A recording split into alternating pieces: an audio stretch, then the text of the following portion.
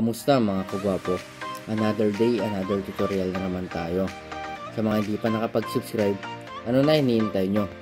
Click nyo na ang subscribe button and don't forget to hit the notification bell para updated kayo sa upcoming videos natin.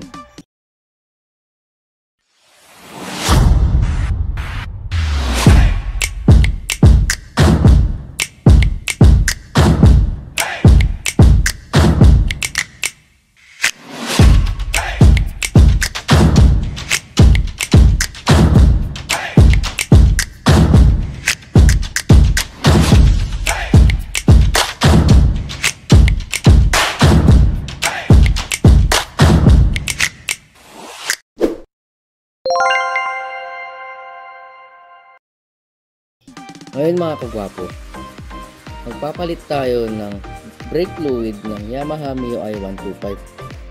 Ang gagamitin pala natin is ito.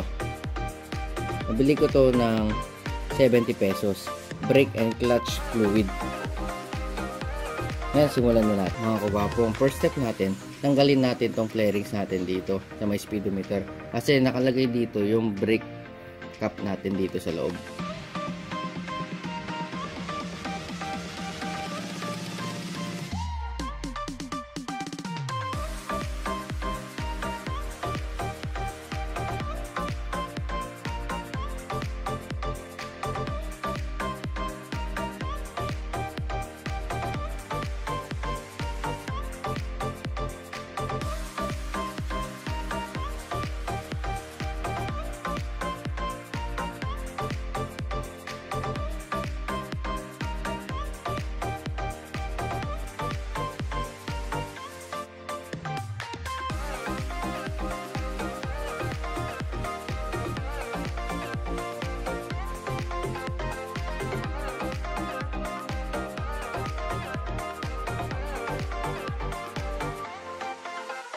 Yung mga kagwapo, bali mayroon siyang anim na Phillips screw bolts. Sa pagbubukas nito mga kagwapo, naituro ko naman na sa inyo kung paano. Gagamitan natin siya ng special technique. Di ba? Yan, igutin lang natin siya ng dahan-dahan. Laruin lang natin para matanggal natin. Hmm. Itabi lang natin to mga kagwapo. Yan mga kagwapo, buksan na natin to.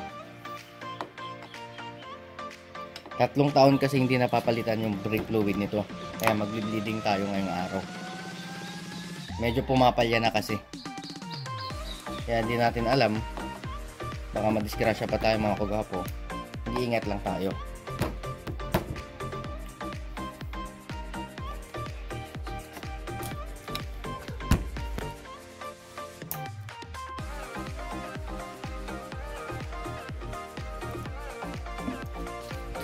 Yan mga kagwapo.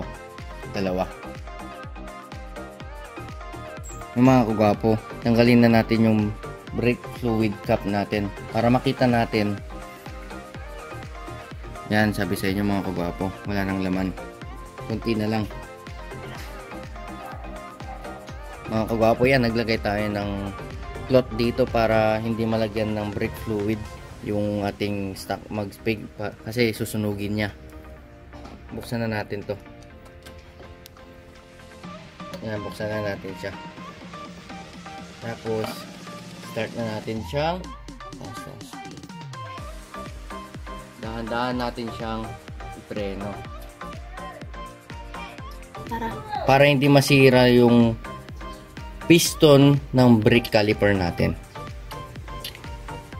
Yan as you can see mga kagwapo lumalabas na yung brake fluid natin.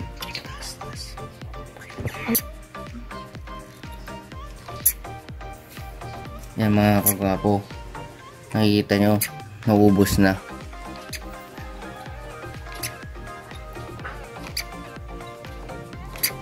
Tuloy-tuloy lang natin yan mga kagwapo. Dahan-dahanin lang natin.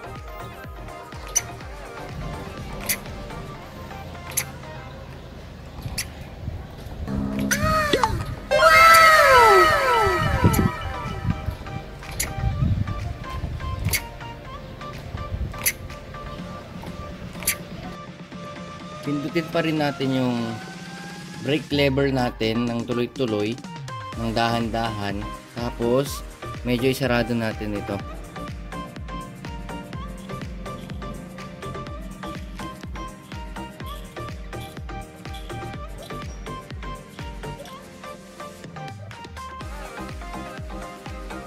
As you can see mga kagwapo yan na lumalabas na yung brake fluid natin na linagay kanina huwag nating hayaan na maubos yung brake fluid natin sa taas kasi mahirapan na naman tayo mag bleeding refill lang natin. I-refill lang natin siya mga kagwapo.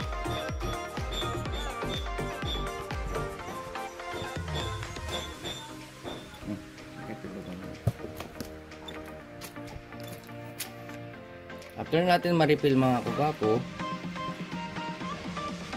ganun pa rin. Ano lang yung step niya mga kagwapo. Dahan-dahan lang natin.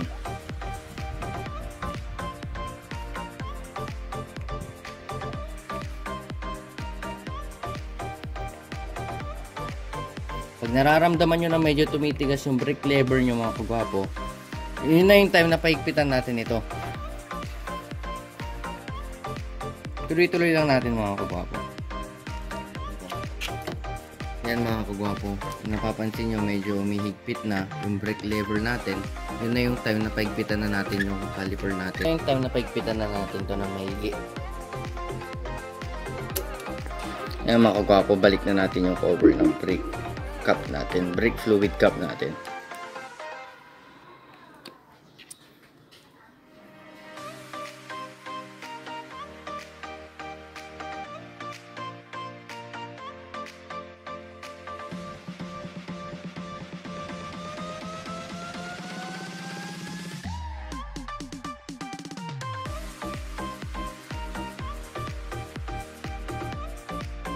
Maraming maraming salamat mga kagwapo.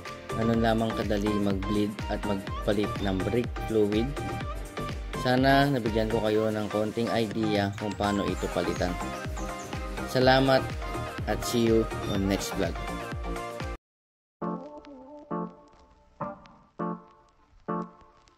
Ooh.